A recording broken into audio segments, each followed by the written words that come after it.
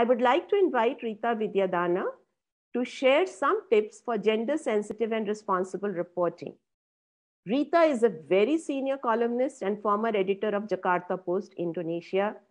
She's currently based in Bali, one of the cities of my dreams. Over to you, Rita. Many thanks, Soba. Many thanks. Hi, everyone. Good morning, good afternoon. Uh, thank you again for uh, uh, allowing me to be part of this uh, very important discussion. Thank you, Bo Bobby. Thank you, Soba, uh, for inviting me. Uh, I would like to share uh, not tips, but my experience uh, of um, writing a gender issue in my country, in Indonesia. Uh, what challenge, talents do did we uh, face during the course of our works. And maybe uh, this is just uh, a highlight, a brief summary. Maybe we can uh, start following this uh, with live discussion. And I really want to hear about the experience of my college here from the Asia Pacific region so we can have uh, connection and uh, improve our understanding of each particular region and how we can improve our work as a journalist, as an advocate, and as a uh, maybe policymaker here. And I hope that you still have energy after three days, after two days. Uh, and this is our concluding uh, session. Yes, uh, uh, Soba, this is yes, our yes, yes, yeah, yes, okay. yes. Uh, maybe uh, I will just start. Uh, uh I'm I was at the Jakarta Post morning daily in Indonesia and English daily, and after that I'm start becoming a freelance journalist and writers, especially focusing on child and women rights issue, on health and development, and I start uh, joining Soba and Bobby to be a member of the Asia Pacific um, Journal Media Alliance for Health and Development. Uh, maybe we can start and then we can follow with uh, our discussion. Forgive me, uh, this is Bali, so my house is next to a school which is now practicing gamelan orchestra. I, I'm, I'm, I do apologize for the loud voice. Thank you. Okay, uh, maybe we can start. Um, yes, um, my, my focus today is how, uh, as a journalist, we have the responsibility to write and to uh, produce writing that is promoting gender equality because uh, the media plays a very significant roles in shaping public perceptions about women and men.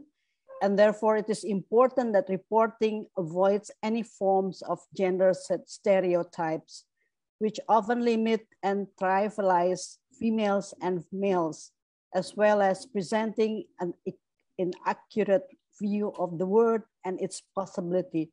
Furthermore, the use of stereotypes reflect a mental block, not only in terms of what society may expect from women and men, but also more seriously in terms of what women and men may expect from themselves. This is, I'm quoting from the UNESCO. Okay, uh, Bobby. Next screen, okay. Uh, why is gender because gender is everywhere. We live in society that are consisted of men and women, and throughout history, different culture have attributed different roles, limitation and privilege for men and women. Gender refers to the aspect that a society or cultures forgive me, this is uh, Azan, forgive me. Gender involves the socializations of boys and girls and the roles conferred to men and women. But this definition may change and differ in each society throughout the story, history. Soba, may I stop a little bit because this yes. is too loud? No, I think we can hear you clearly. It's. I okay. think your voice is fine. Yes. Okay, thank you. Is it disturbing the voice? No, it, it is there, but uh, uh it's fine. We can hear you clearly. So okay, thank you so much. So we can uh, continue, yes, Bobby. Yes. Okay, gender concepts are found in all aspects of life, including journalism. This is very important because journalist works cover all aspects of life. When the concept of gender is understood, society will become healthier and more equal. According to Judith Butler, a, a very expert in gender, gender is a performative, that is, it is actively produced within social interaction. And media being an integral part of this proof of social construction, it is thus legitimate to explore the gender dimensions of news production and reception. So we know all that quality journalism is ethical journalism and that ethical journalism include full and fair representations of action, opinions, concerns, and aspirations of women around the world. That's according to WA She's Deputy General Secretary Lavinia Mohr. So we know our responsibility as a journalist. Uh, next, Bobby. So in order to achieve that, we have to apply gender sensitive reporting as our responsibilities as journalists and writers. So we are all aware that each story rewrite must answer the five W and one H. Who, what, where, when, why, and how. The same questions can be applied to gender sensitive journalism as outlined before. Bobby, next screen. So we start with the first W, who, who can do that? All journalists can play a role in changing attitude toward women and gender-based stereotypes. The second W, what? To be more aware of gender issue and integrate this awareness into our work.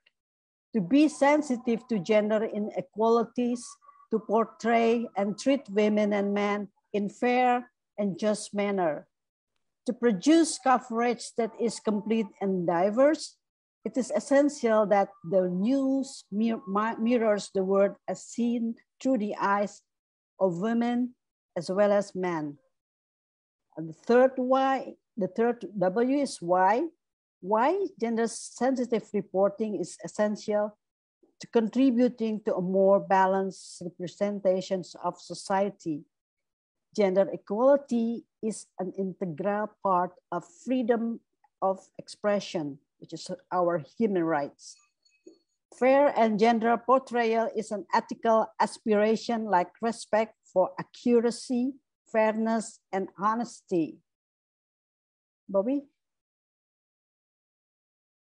Where where can we apply this gender equality in our news organization, be it newspaper, television, radio, social media, in short, in all forms of media at the managerial level, where the general directions are made, in the editorial department, where decisions are made about stories to be covered, and in the field when information is being gathered when? From now on, start now. How? By being aware of the language we use, by being open-minded and fair, and through careful selections of stories and the resource and sources, the natures of news, the choice made about what is newsworthy, and the way the story is reported must change. Women need to be used more as the sources and subject of stories. They need to be interviewed as commentators and experts. Next. So uh, with this in mind, uh, we still see a, a bleak pictures in the media profiles in our Asia Pacific region. Uh, according to a study by UN Women Asia Pacific, women are entering the media professional in a large number, yes. Yet their representation across, across all areas of the media remains inadequate. On average, across Asia and the Pacific, women make up 28.6% of the media work, workforce. However, the proportions are lower in decision-making roles in media organization where women make up only 17.9% of executive roles, 19.5% of senior editorial, and 22.6% of mid-level editorial positions.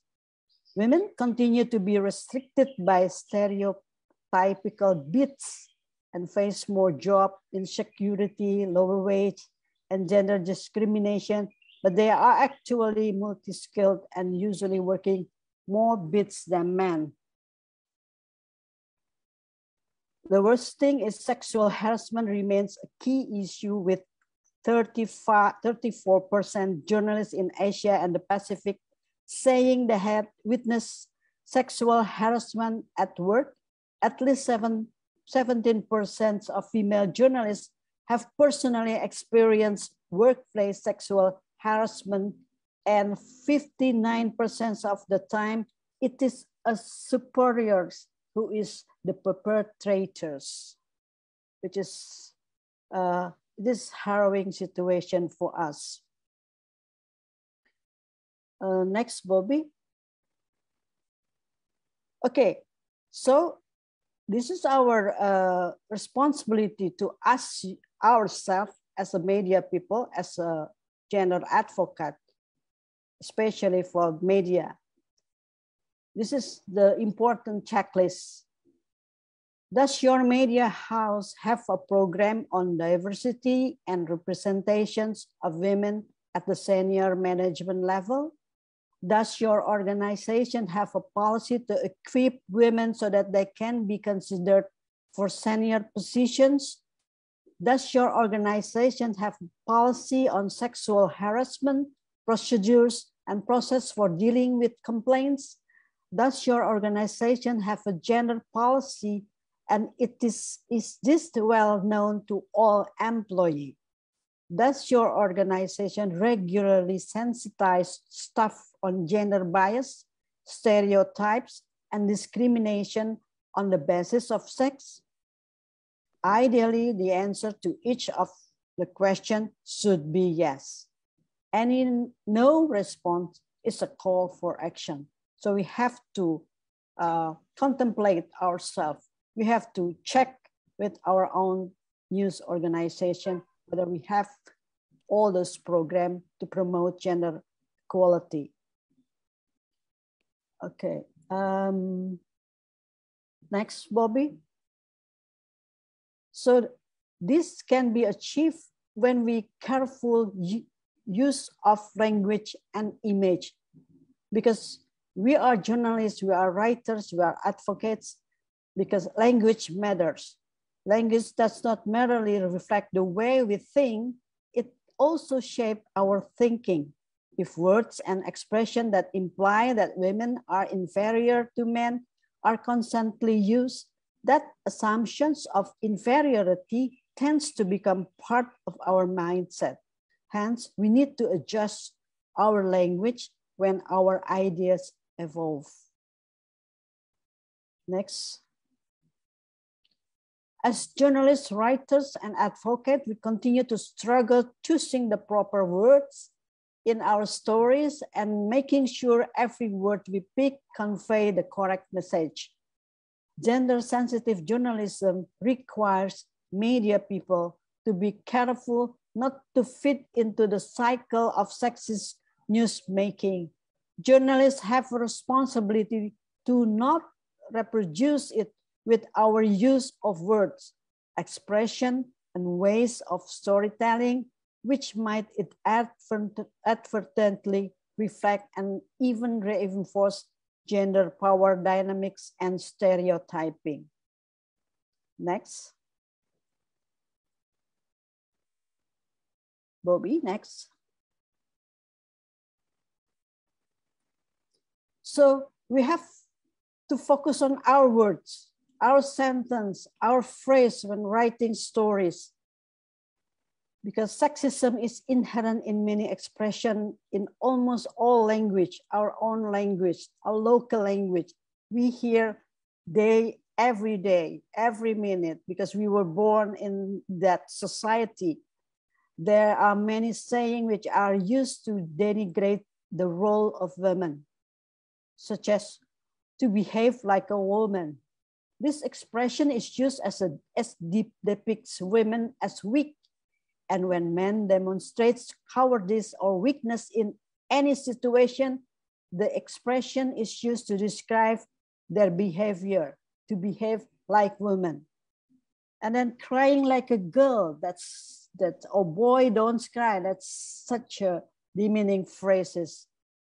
Crying is often perceived as weakness. Many parents use these phrases when trying to calm young boys when they are crying.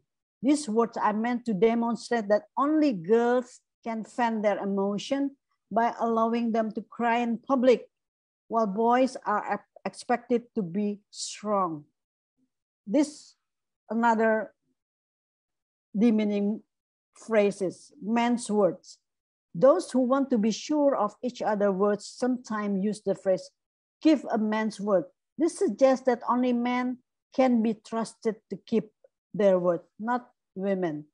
This kind of phrases that we have to avoid in writing our works. Next. Bobby? Okay. This may be simple tips when we when we start writing, always question the words and expression we use. Trace the root. Many expressions you have been hearing and using for years may contain sexist implication that you had not noticed until now. It is always useful to discuss the language with your editorial team and your colleagues while writing the news using active sentence instead of passive is always important.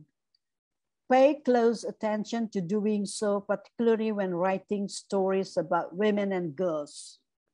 Next. Next.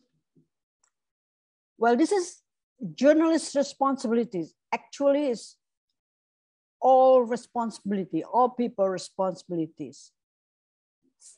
First, fight against cliches. cliches. Good storytelling and gender sensitive journalism should avoid cliches because most of them are actually gender related. But gender cliches are everywhere. Like women's fight against cellulite, these cliches imply that women are obligated to conform to beauty norms which are widespread worldwide. Number two is judgmental language. Another common mistake is the use of judgmental language. This is the major issue we need to tackle for the sake of gender sensitive reporting. Again, accuracy is fundamental to good journalism, journalism, but we know that it's not easy task and that it's not always possible to achieve. Research must be done carefully and facts must be checked and even cross-checked. Whenever possible, we should collect information firsthand by being there, but it all it is not always possible. If it's not possible, we should talk to those who were there. However, it is important to be aware of the differences between primary and secondary sources. We always make sure that we do not reflect exaggeration and gender bias judgments. We should be committed to being objective in our reporting. Next. Fighting stereotype. Stereotype is a term used to define all people of a certain group as having certain behavior or characteristic, usually negative. Stereotypes are often wrong and can lead to discrimination. They oversimplify the reality and usually form the basic of prejudice. We as journalists and writers are members of our own society and have been shaped by that culture. And therefore, we might therefore apply our cultural stereotypes to our news item without thinking, thereby inadvertently reinforcing them, deepening inequality and paving the way for stigmatizations and prejudice because this is unconsciousness because it's deeply ingrained in our mind because we live there in that society. Okay, next, Bobby. So there are many stereotypes attributed to gender. Here are some of the common female and male stereotypes. Female is always uh, portrayed as dependent, uh, while male is independent. Male, weak, while male is powerful. Male is always, female is always emotional, while male is logical. Female is always depicted as housekeepers, while male is portrayed as breadwinners.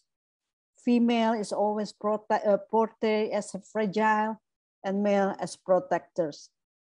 Female, soft-spoken, and male, outspoken. This is stereotypes that we always hear that every minute, every hour, every day. So this is this is uh, very important that we start uh, fighting the stereotypes in our news. Okay, next, Bobby.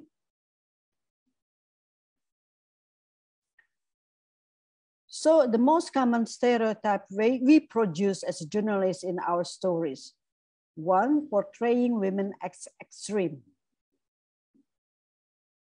If they do not fit the stereotype, for example, an unmarried woman who is sexually active is often portrayed as a sinner. And a woman who challenges a man, I'm sorry, I omit that, is always pictured as aggressive women always be portrayed as sex object. Many studies have proven that the media frequently portray women as sex object for men to look at and fantasize about. In news and uh, advertising, image focus on women's body and their looks. The impression that women have nothing else to contribute to society. The third one is portraying women as victims. In many humanitarian crises, women are often portrayed as suffering victims. Women do suffer, but they also perform many heroic acts, such as rescuing the elderly and children.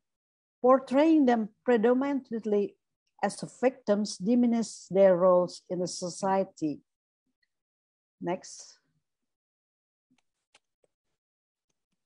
So this is our job is making women exist and visible in our news because this is the data is uh, portraying uh, unfavorable uh, pictures of our activities. So the word that journalists describe in the news media remain largely masculine the 2015 Global, Global Media Monitoring Project revealed that women make up only 24% of those heard, read about, and seen in newspaper, television, and radio news. The report also said women relative invisibility in traditional news media has crossed over into digital news delivery platforms. Only 26% of the people in the in internet news stories and media news tweets are women. Only 4% traditional news and digital news stories explicitly challenge gender stereotype. The International Labor Organization study reveals Almost half of news stories, 46%, reinforce gender stereotypes.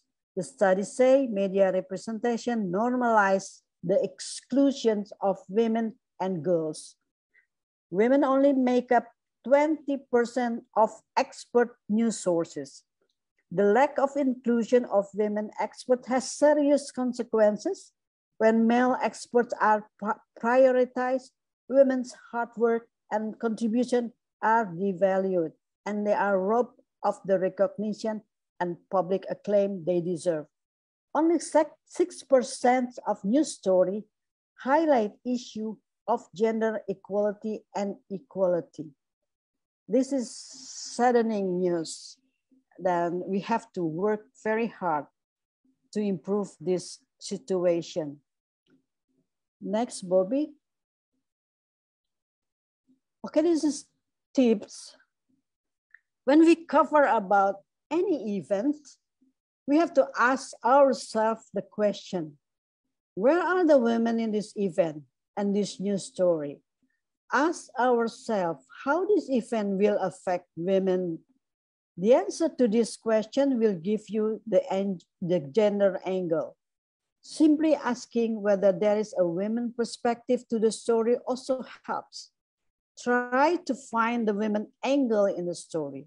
Look at women's rights struggles, follow civil society organizations which are working for women and girls and draw attention to their efforts.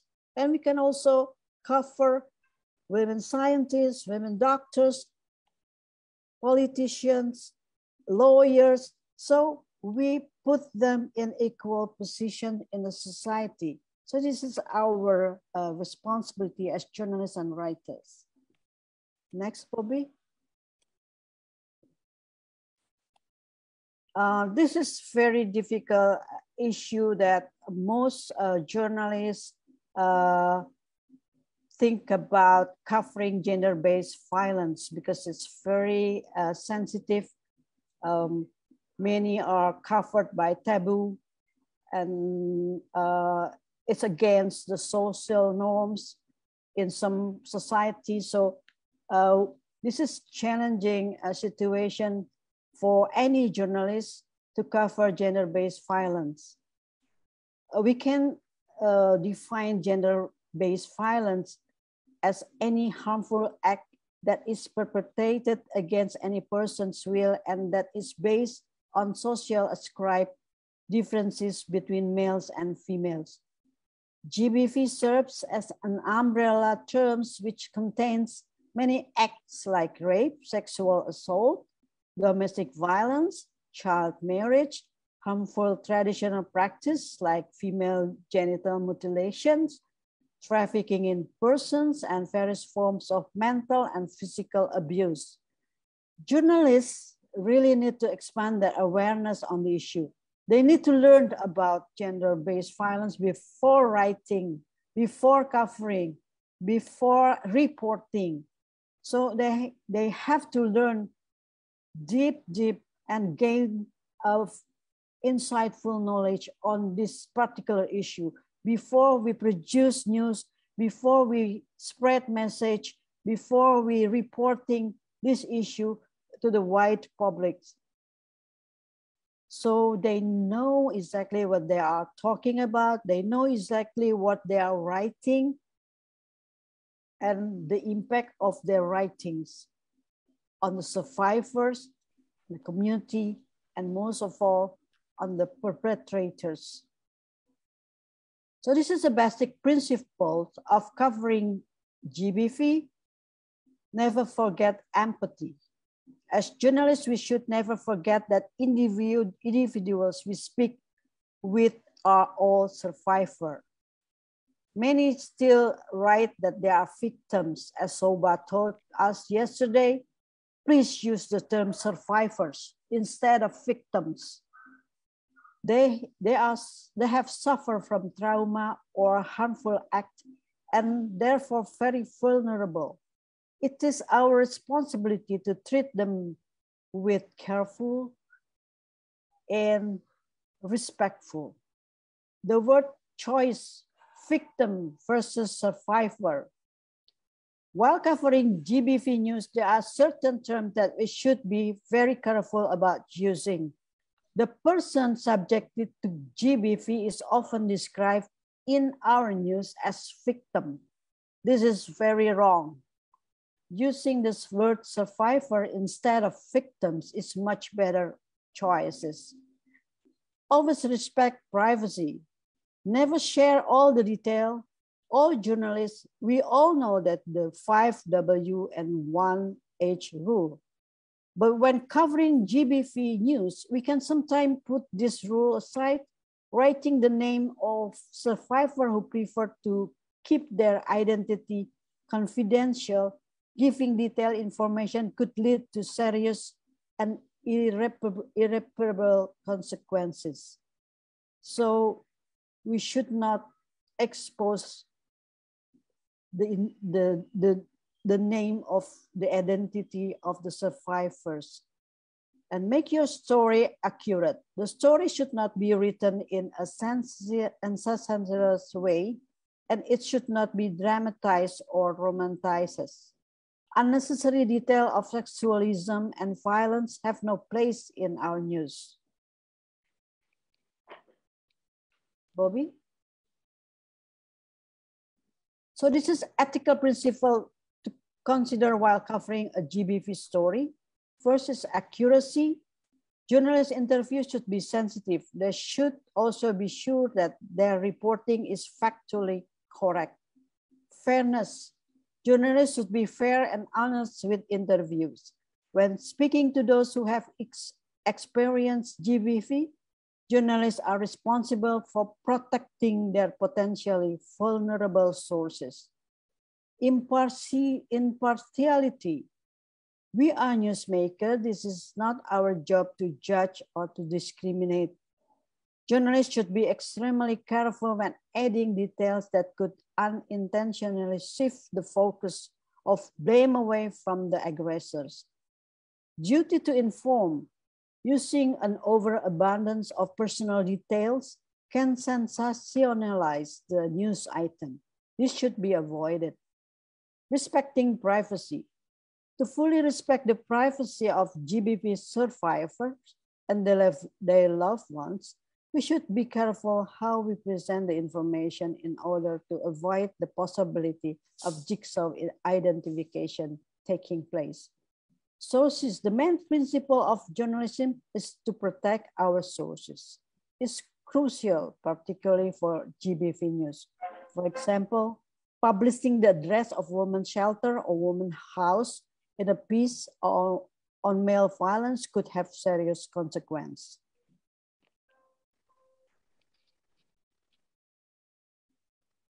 So this is do no harm principle.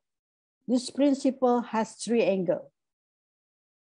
Showing sensitivity to people who are trau traumatized to survivors and actors being aware that the subject of the interview may be inexperienced in dealing with the media, and understanding the balance between the public's right to information and the suspect's right for a fair trial. When dealing with GBV survivors, we should always prioritize their best interests and adhere to the principle described earlier. Next, Bobby. Yo, this is very difficult uh, how to interview a sexual assault and rape survivor. Journalism is not an easy job. It can include many difficult situations. And interviewing a sexual or rape survivor is certainly one of the hardest tasks for us. But here are some tips maybe.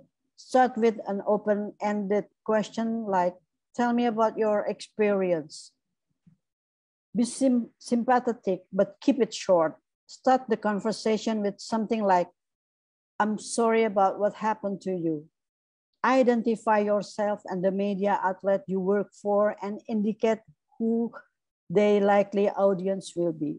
Tell the survivor why you are there and with what it is that you want. Maybe it may be difficult for female survivor to tell their story to men and for male survivor to talk to women. If the interviews cannot be a person of the same sex, make sure that the survivor is um, comfortable talking with someone of the opposite sex. Explain that you will not use the survivor's name unless they specifically want to. Stress that you will protect his and her identity. Uh, child marriage is one of uh, serious child rights abuse and uh, one of GBV. Child marriage is a violation of human rights, of child rights. Young marriage girls face many difficulties such as early pregnancy. We must remember that every person under the age of 18 is considered a child unless stated otherwise in the applicable national leg legislations. Child and early marriage or forced marriage are considered GBV. So we often have to cover child marriage. When covering child marriage news, emphasize in our story that human marriage that child marriage is a crime and violation of basic human rights. Phrases cont containing sexism or sexist approach must be avoided. Life stories are important for convincing the public of the existence, prevalence, and depth of the problem of forced marriage.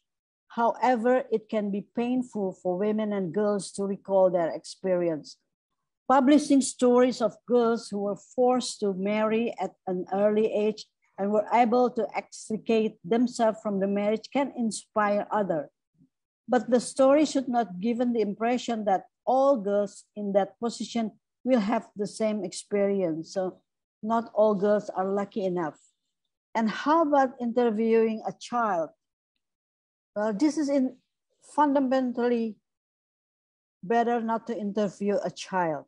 However, in certain circumstances, journalists might choose to do so. In such an interview is required, it must never take place without the presence of an adult who could be their parents or custodians, or in some specific cases, a teacher or someone working for a children's protection agency. Next. Oh, this is the stereotypes and pieces in visual because pictures portray means thousands of words. Gender also plays important role in visual communication. Stereotype and thesis can be found in photographs, in video, and explanatory graphic. They should not be encouraged uh, or approved through hasty decision making. What is acceptable, what is unacceptable, acceptable. Uh, this, this image is very uh, portraying stereotype. In hospital, the nurses always women, girls, and the doctors always a, a man. So this is stereotypes. In the second these doctors stand in front of uh, female nurses. These pictures stereotypes the roles of women and men in a society. So we must be very careful when we choose pictures for publication. We must be aware of certain aspects to ensure we avoid them. So this is the right pictures is a good because this is female, doctors accompanied by male and female nurses and they sit equally. So this is important as a journalist, as a photo editors to be careful in picking up all uh, pictures and video and uh, any graphic that will uh, uh, the roles of women in, in, in news. Next. So picking the right photograph, video, video and visual. Our choice of pictures, graphic or footage is extremely important because these images strengthen the story and are sometimes more effective than the words.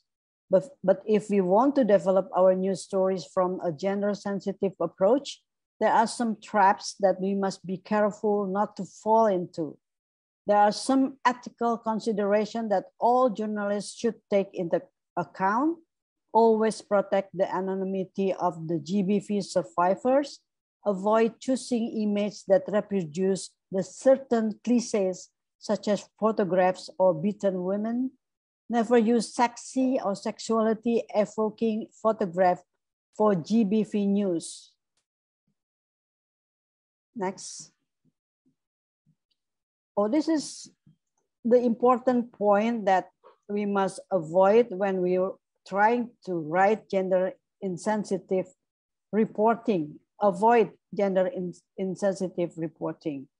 So this is the checklist. Are women views and voices sought equally? Are male and female subjects treated equally? Have a variety of sources representing a, broad, a broad spectrum of views been consulted? Does the coverage raise critical question as to why women are not represented? Does the coverage reflect a holistic and realistic view of women? Does the story challenge or reinforce stereotypes? Are these stereotypes blatant or subtle? Does the story exonerate the perpetrators? perpetrators? Are all subjects treated with dignity? Are the experiences and concerns of women belittled? Is your story fair, accurate, and balanced? Is there adequate context and balance and analysis which includes going beyond the event to highlight the underlying issue? Does your article contain language that is inclusive of men and women? For instance, are gender neutral terms used instead of gender biased terms? Are women and men equally represented? Are women portrayed as survivors? Are women portrayed as active and or passive? Do image emphasize or exaggerated physical or sexual aspect? Does the image degrade the dignity of women? This is, uh, I think, a very important checklist for us as reporters, as writers, to avoid gender insensitive reporting. I think we have to stop here and then we can start uh, sharing each other experience. Many thanks, Shobha. Uh, over to you, Shobha. Thank you very much. Thank you, Rita, for such a beautiful and extensive explanation of what ethical journalism should look like, not to be judgmental, dismantling stereotype attributes, and looking at every issue with a gender sensitive lens. Now we open for question and answers. We have a lot many comments and questions already. Uh, Nahid uh, Khalid uh, wants to know uh, if there are more female students or male students who study journalism, or is the poor male female ratio in media also linked to girls dropping out of school? Uh, maybe Rita? Exactly. yes. Yeah, exactly. Yeah. Maybe yes. some other expert expert can also uh, uh, jump in because yes, this yes. is exactly women mostly drop out school to get married yes exactly right right and and then also they are supposed to take up yesterday Maitri was uh, telling in her presentation she's a very senior journalist in india that you know certain um, professions are again as rita also mentioned they are put into boxes these professions are good for women these are good for uh, men and uh, was uh, sharing her own experience that in her family they did not think that uh, she should be into this profession because it means staying out late, having uh, very irregular working hours. So that also determines that is the stereotype I think uh, which is being perpetrated. Uh, Mensen Dimi from PNG says, she talks about the checklist uh, Rita had mentioned for media organizations to have. And she says it's a very important list, but barely any organization has these committees unless it is a legal thing in that country. What do you have? Exactly. Yes, yes. Yes. Uh, it depends on uh, the news organization and the country. Do they have legal umbrella for protecting the journalists, especially female journalists, and whether they are uh, gender sensitive enough, uh, uh, whether they also imply gender mainstreaming in the newsroom, which is very rare. I have to admit it, very rare. Varuni from Thailand uh, wants to know how do we engage media in addressing patriarchy within the media to make progress on gender sensitive issues and gender use of gender sensitive language also. Because she says that very often uh, this gender insensitive language is used without even realizing that is, is that it is insensitive or it is fueling gender stereotypes. This so, is very true. Yes. This yes, is very true. Because we live in a patriarchy society.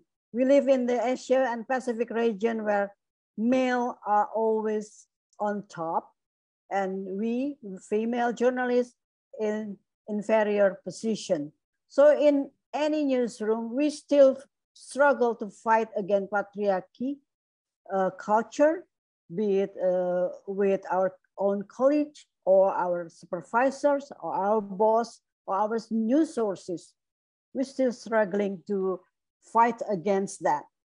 Maybe uh, other uh, journalists from other country can uh, jump in and share their experience how to deal with patriarchy in their own newsroom and in their society. Yes, we will come. Yes, we will come to that. Yes, Rita. Amira says that again, she talks about the committees that where even where the committees are there, they do not hold meetings. And so their responsibility and accountability should be enforced. That even if just form, forming a committee, the committees is the first step, but then accountability should be there as well. Uh, uh, then, this, this, yes. Yeah. Yes, Rita, please continue. Uh, yeah, many newsroom in my country, uh, they have set up committee, but uh, we don't know whether they are effective or not, and then we don't have any uh, organizations to take them accountable. But uh, there are some uh, strong news organization in Indonesia also uh, checking uh, with every news media organization to see whether they have set up the committee and they apply the gender mainstreaming in the in their newsroom. And it start since the the 2000 yeah uh, and and they are very active now. And uh, we see uh, a very significant progress in gender mainstreaming in indonesia. I don't know in other countries maybe all our friends here can share their experience so i really want to learn about that uh, from our uh, participant here uh, how they cope with gender mainstreaming in the newsroom so i really want to hear from our colleague here uh, and um, uh, uh, Noor has an important point to make. Uh, Noor says we only uh, talk of the gender perspective from male and female, which, but we should not leave the issues of LGBTIQ communities behind. So these groups should also be considered while uh, we are talking of gender justice and gender equality. Exactly. I'm so sorry I didn't uh, include our uh, LGBT friends, uh, but uh, it is very important issue that we should address. And we have to be very careful in covering, in presenting them because many of stigma uh, surrounding uh, them. And uh, now we have to fight against all the cliches, all stigma, against this uh, community. So I, I, do apologize for not including them. I'm, I do apologize. No, no, it's it's not about apologizing. It is just uh, making sure that uh, we do not uh, they are not left behind because that they are they are part of that important exactly. part of yes, yes exactly exactly i agree and, uh, we have uh, uh, a comment rather from kai liago valido that women journalists struggle to prove themselves in the field and even when there are women journalists in a media house or representing some media they get assigned for lifestyle entertainment pages and beats and not for say the police beat or even the other beats are usually not assigned to them. Basically they are thought fit for lifestyle and entertainment. Rita what do you have to say to that? Oh i agree. I agree with you. But also uh, we have to uh, eh, well in the past uh, women are also uh, that is stereotyping of female journalists oh, we have to uh, go to the bit like lifestyle fashion or or cooking recipe or whatever. But I think we have to uh, explore more about this lifestyle uh, beat because we can do more like fashion.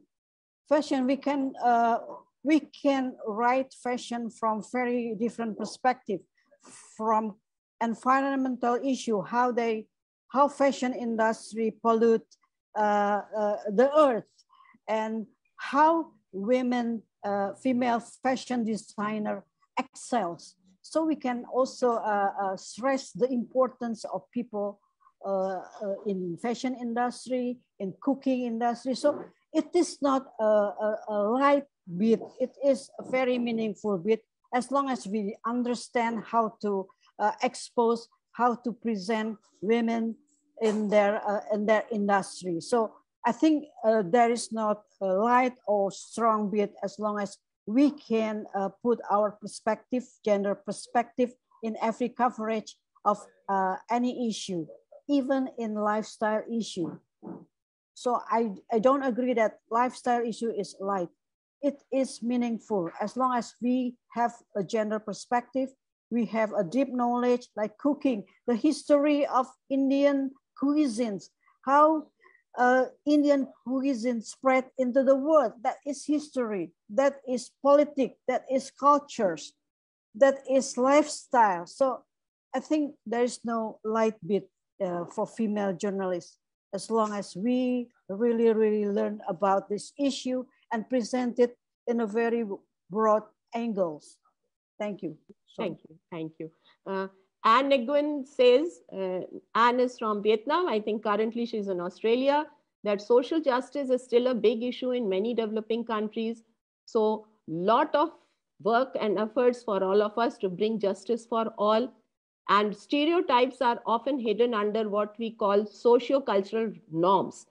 And uh, they, are, uh, they are being fed into people generation after generation, including us as receivers of knowledge. So that is, I think, where the unlearning and relearning process should start. Yes, Rita, for your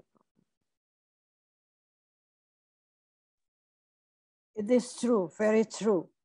Uh, it is blanket in social, traditional, and religious norm, all the stereotypes, all the taboo. So we have to uh, open the blankets uh, by you know, educating the people, educating our audience, and changing our ways to write, our ways to communicate. That is fighting the stereotypes, fighting patriarchy, fighting gender equality, inequality. So this is our job as a journalist is to educate people also to provide what is good and what's right, what is acceptable, what is unacceptable in our society. I think, uh, I hope that it, we can also paving ways to creating social, more justice social uh, environment. Thank you. And Mahesur Rashtree has uh, stresses upon the same thing, that there are things that we have been learning from our childhood and we didn't even realize or think that these are gender sensitive issues until now. So it is a good thing that we are all trying to get over those normalized stereotypes and we are trying to denormalize them. So thank you very much, Rita, for this very, very, uh, very, very productive and informative uh, uh, session of uh, your presentation.